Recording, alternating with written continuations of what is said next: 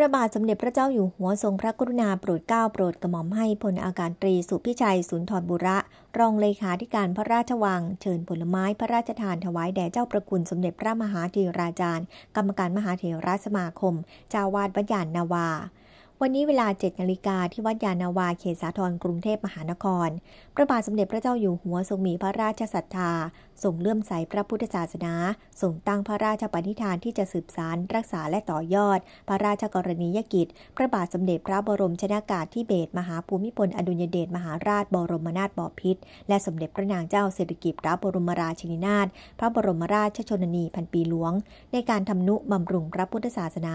ห่วงใยสุขภาพอนามัยพระสงฆ์ที่ปฏิบัติดีปฏิบัติชอบ ในการนี้ทรงพระกรุณาโปรดเกล้าโปรดกระหม่อมให้พลอากาศตรีสุพิชัยสุนทรบุระ รองเลขาธิการพระราชวัง เชิญผลไม้พระราชทานถวายแด่เจ้าประคุณสมเด็จพระมหาเทราจารย์ กรรมการมหาเทรสมาคมเจ้าวาดวัญญานาวา